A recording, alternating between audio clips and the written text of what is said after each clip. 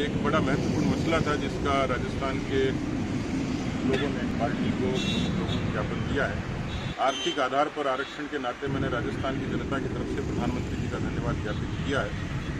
साथ ही निवेदन किया कि जिस तरीके से गुजरात की सरकार ने कुछ मापदंड हटा के और उसमें खाली क्रीमी लेयर के मापदंड को रखा है, ज़मीन और आवास की शर्त को खत्म करके और बाकी लोगों को तो राजस्थान के लोगों का मानना ये कि केंद्र की योजनाओं का केंद्र में आरक्षण का लाभ मिले, वो मैंने अपनी तरफ़ से, राजस्थान की जनता की तरफ़ से उनको रखा है। कुल मिलाकर अच्छी बातचीत हुई। उन्होंने भी कुछ सुझाव दिए हैं कि राजस्थान में हम लोग और ज़्यादा बेहतर किस तरीके से करें। इसके बारे में उनके सुझावों को हम लोगों ने निश्चित रूप से गौर किया। नया नेतृत्व किस तरीके से आए, इसकी फ़िक्र हम लोग करें तो एक मैंने उनको राजस्थान का आमंत्रण भी है। साथ ही साथ मन की बात को और एक अच्छे फोरम पे हम लोग खासतौर पर नौजवानों और किसानों के बीच में मैं राजस्थान में उनको आमंत्रण किया है।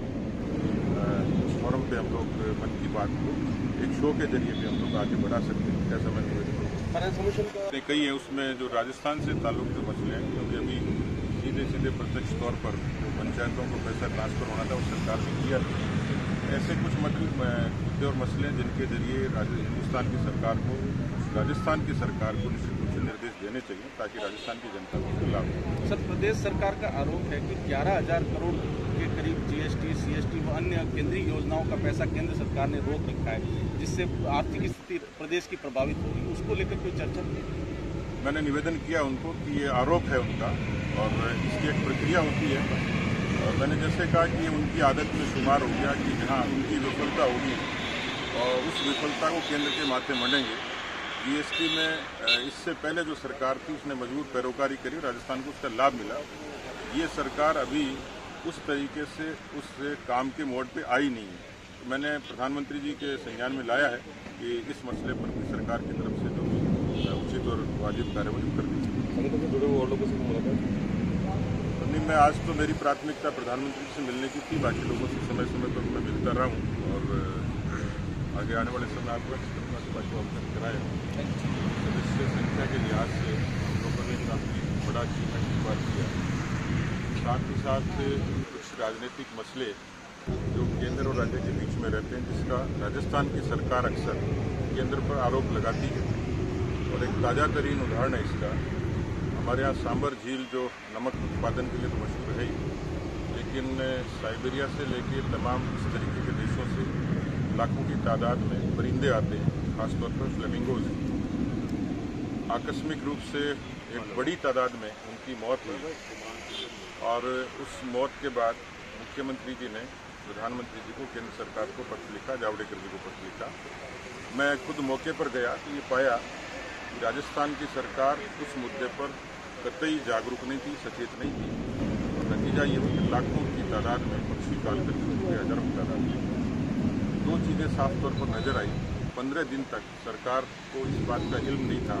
हाईकोर्ट ने जब प्रसंज्ञान लिया और मीडिया के ज़रिए खबरें आई, तब सरकार चेती। मुझे लगता है कि सरकार अपनी कमज़ोरी को केंद्र के बारे में डालकर तीसरी करना चाहती है।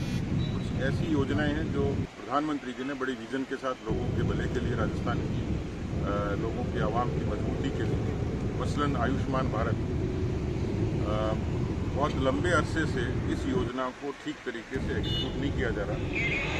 एक करोड़ दस लाख लोगों में से तेईस प्रतिशत लोग अभी भी वंचित हैं, जो भामाशाह स्वास्थ्य बीमा योजना हमारी पूर्ववर्ती भाजपा की सरकार में चल रही है। उसमें 30 लाख लोगों ने 2800 करोड़ से लाभ लेके और इलाज का फ़ायदा लिया था। लेकिन राजस्थान के लोगों को आयुष्मान भारत का राजस्थान सरकार की जिद के कारण लाभ नहीं मिल रहा। प्रधानमंत्री किसान सम्मान निधि।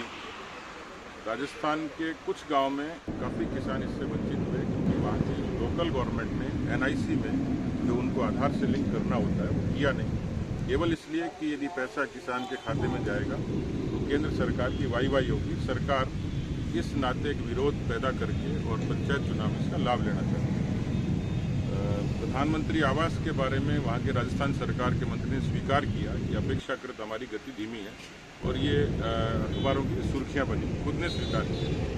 मैंने ऐसी कुछ चीज़ें थी जिसके बारे में जिनका ज़िक्र ज़रूरी था। लेकिन एक बड़ा महत्वपूर्ण मसला था जिसका राजस्थान के